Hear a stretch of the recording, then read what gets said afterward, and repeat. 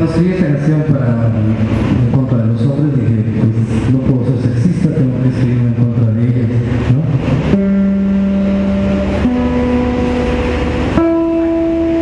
Esta canción la hice con un amigo que está empezando su carrera, se llama Miguel Luna.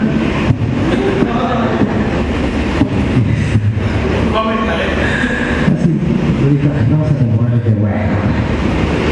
Y la canción se llama Qué pena